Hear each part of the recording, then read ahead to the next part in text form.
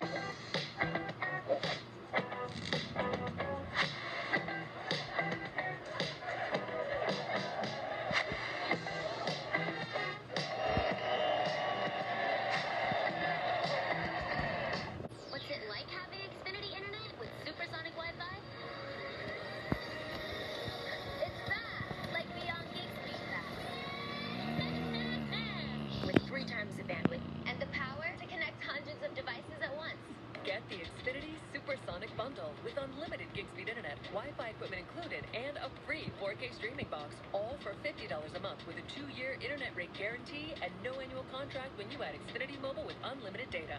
Switch today. Friends and Fun with Kelly at 3. And the Bay Area's only national news at 4. Then join me for local news that moves the Bay Area forward. Watch Kelly at 3. NBC Nightly News at 4. And NBC Bay Area News at 4.30. Weekdays.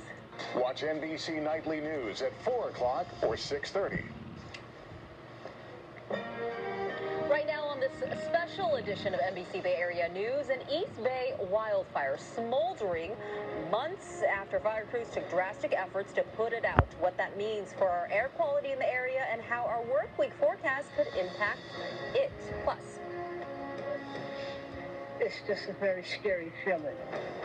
You know, to know that we were that, it was that close to us. A sigh of relief for people in Stockton now that a man suspected of several killings is in police custody. Now the community's vigilance helped officers track him down and put an end to the killing spree.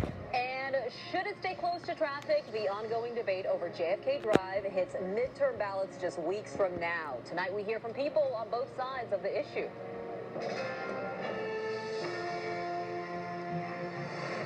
Thanks for joining us in this special edition of NBC Bay Area News. I'm Terry McSweeney. And I'm Gia Vang. Tonight, a fire that sparked back in June is smoldering again in Contra Costa County. The Marsh Fire burned more than 150 acres in Pittsburg this summer. And after months of efforts to put it out, it's still burning underground.